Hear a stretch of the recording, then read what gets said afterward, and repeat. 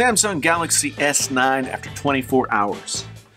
Viewer and I hope subscriber Mahesh Walatara asked, Does it blow? Well, hmm.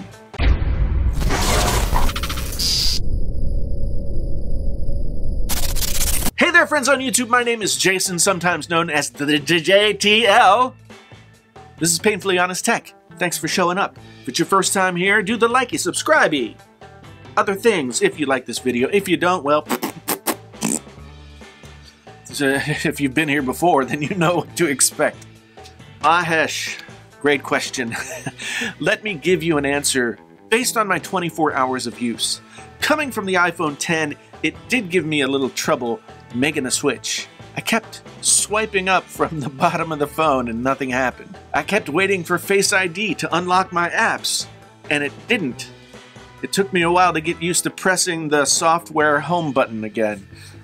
But now I'm starting to get used to it. There were the little differences in the operating systems. I started to see what was good about Android and Samsung phones and what was not. Talk about the hardware. It's a gosh darn pretty phone. Samsung's design has really settled into its own, and they are distinct enough now with super high quality glass and metal to put them on the Apple level, perhaps, when it comes to design. The trade off to that prettiness is I found the phone impossible to hold on to. I really like the matte finish on the sides, and I was hoping that would help with some uh, grippiness, but they're really too thin to do much at all. So fail on that. It's not very grippy. And uh, I almost dropped it a bunch of times. Of course, everybody's got to watch the drop tests because people are stupid enough to want to break their phones to prove something. But after seeing said drop tests, I can't imagine anyone carrying this thing around uh, without a case on. And that will basically ruin the design, but you will be able to hold on to the phone. And no, I'm not going to slap a Dbrand skin on it. Dbrand skins are the tech enthusiasts' idiot tax. $20 for a 3M sticker? Jesus.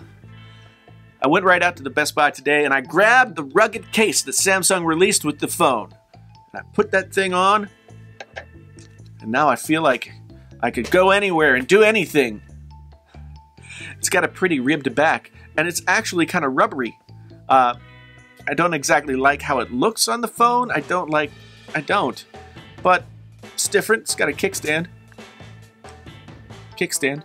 Samsung always has some cool ideas for their branded cases, and this one is pretty cool. So it's not as thick as the Note 8 rugged case either. That was a problem.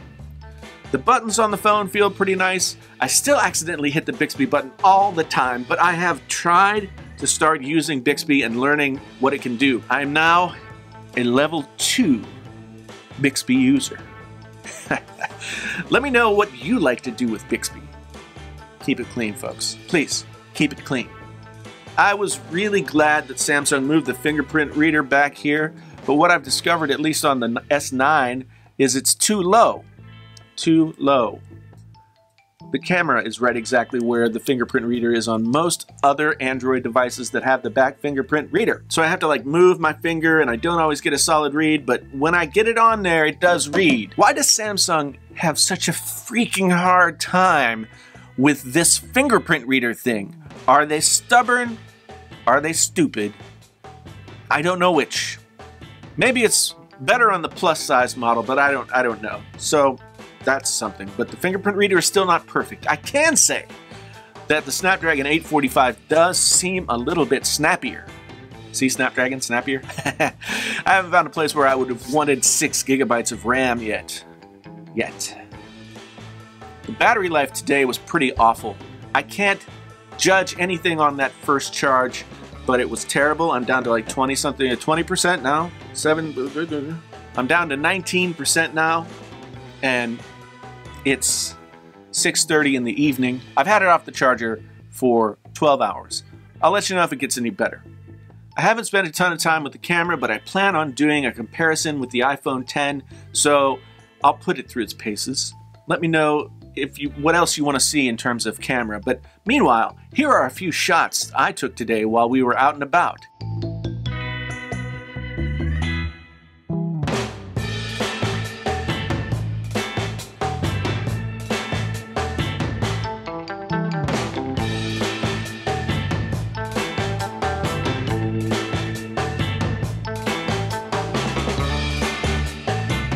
On the software side, things are pretty much as they have been for the past couple of years. The Samsung Experience, TouchWiz, whatever, is still heavy, and it doesn't look like Android, but it does bring some decent stuff to the table, I have to admit. I always forget how much I like the themes that you can download and use. I'm a dark mode guy, and uh, there's a pretty decent selection of free dark mode themes in that theme store, so that makes me happy. Been back on iOS for long enough to be pleasantly surprised that the notifications are uh, more usable on the Android phone. The app switcher on this phone is so much better than the iPhone X. That said, I do miss the control panel. Uh, the, the control panel is pretty darn slick, and I, it's not as easy to do stuff on this guy. As always, it's annoying that there are two apps for everything here. Two email apps, two calendar apps, two... But, uh, does Samsung think they're filling an ark here or something?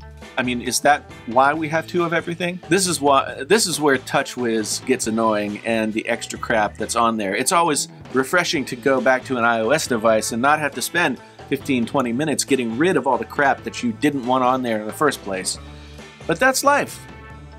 I like that the on-screen display uh, lets you swipe to get to your music audio controls and stuff, but I can't seem to activate it especially when driving. So to answer Mahesh's question, does it blow? no. No. No. It's a nice, safe upgrade. I'll have more thoughts about it after I use it for a while. It's not going to set your world on fire or anything, but given Samsung's recent past, maybe that's a good thing. But um, bump. Thanks for being here. I really do appreciate it. Again, if you're new here, please think about liking and subscribing and doing all those things that are so awesome. If you've been here for a while, then just like the video and leave me a comment telling me how awesome I am. Let me know what you might want me to cover in a, in a more full-scale review on the Samsung Galaxy S9, and I will make sure to do it. Again, thank you. Thank you very much for showing up. My name's Jason, sometimes known as the JTL. This is Painfully Honest Tech Tech. So, honest it hurts. Until the next time, I'm out.